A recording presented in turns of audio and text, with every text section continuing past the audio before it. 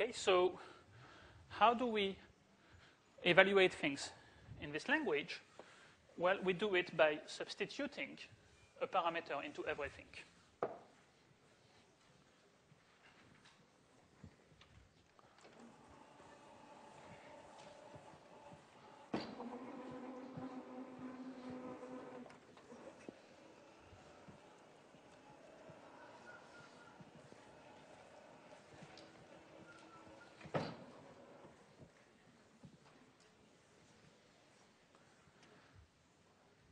Okay, so the method to evaluate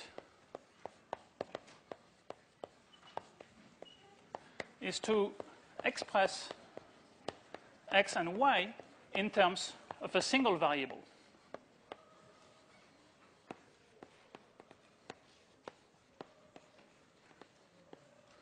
And then substitute that variable. Okay, so let's, for example, redo the one we had up there, just using these new notations. You'll see it's the same calculation, but with different notations. So in that example that we had, our vector field f was negative y comma x. So what we're integrating is negative y dx plus x dy. Okay? And see if we have just this, we don't know how to integrate that. I mean, well, you could try to come up with like a negative xy or something like that, but that actually doesn't make sense. It doesn't work. So what we'll do is we'll actually have to express everything in terms of a same variable because it's a single integral. We should have only one variable. And what that variable will be, well, if we just do it the same way, that would just be t. So how do we express everything in terms of t? Well, we use the parametric equation. We know that x is t and y is t squared. So we know what to do with these two guys. What about dx and dy? Well, it's easy. We just differentiate. dx becomes dt. dy becomes 2t dt. Okay? I'm just saying in a different language what I said over there with dx dt equals 1, dy dt equals 2t. It's the same thing, but written slightly differently. So now I'm going to do it again. Um, I'm going to switch from one board to the next one. My integral becomes the integral over c of negative y is minus t squared dt plus x is t times dy is 2t dt. Okay. And now that I have only t left, it's fine to say, oh, I have a usual single variable integral over a variable t that goes from 0 to 1. So now I can say, yes, this is the integral from 0 to 1 of that stuff. Well, I can simplify a bit, becomes just t squared dt, and I can compute it. Uh, I have negative t squared, and then I have plus 2t squared. So I end up with positive t squared. Okay, it's the same as up there.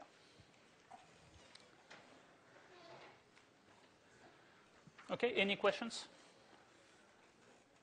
Yes?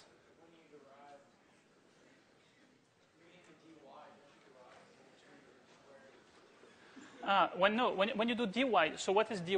dy is the derivative of y, it's the differential of y. y is t squared, so I get 2t dt, okay? So I plug dt for dx, I plug 2t dt for dy, and so on. Okay, and that's the general method. So if you are given a curve, then you first have to figure out how do you express x and y in terms of the same thing. And you get to choose, in general, what parameter we use. Okay, you choose to parameterize your curve in whatever way you want. So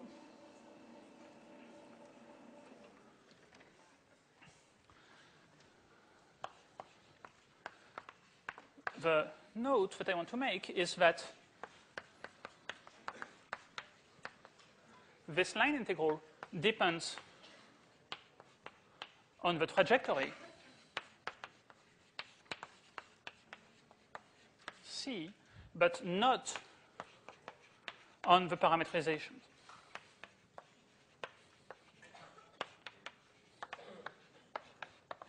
Okay, so you can choose whichever variable you want. So for example, what you could do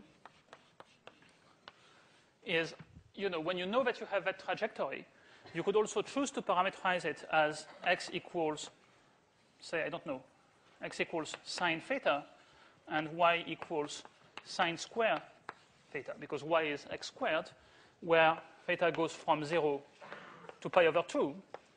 And then you could get dx and dy in terms of d theta. And you'd be able to do it with a lot of trig, and you would get the same answer. So that would be a harder way to get the same thing. Okay, so what you should do in practice is use you know, the most reasonable way to parameterize your, your curve. If you know that here you have a piece of parabola y equals x squared, there's no way you will put sine and sine squared. You know, you could set, I mean, x equals t, y equals t squared is very reasonable. You can even take a small shortcut and say that your variable will be just x. So that means x, you just keep it, you know, as it is. And then when you have y, you set y equals x squared, dy equals 2x dx, and then you have an integral over x. That works. Okay, so this one is not practical.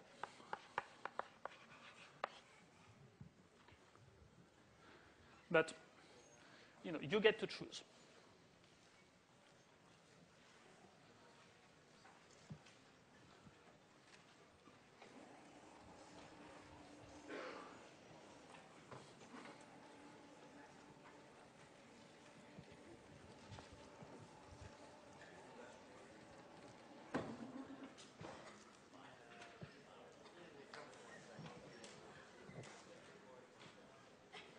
Okay.